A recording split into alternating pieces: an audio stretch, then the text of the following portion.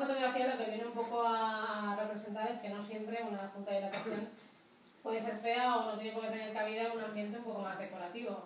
En este caso la dueña es una persona que le gusta la decoración, colocó un rodapié de acero inoxidable, tenía un salón muy grande y decidió colocar pues, una junta también en acero inoxidable.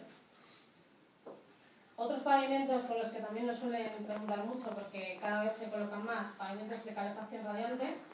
En este caso sabemos que por debajo va a estar entre unos 40 y 50 grados este agua, pues bueno, cada 4 metros lineales tendríamos que colocar estas.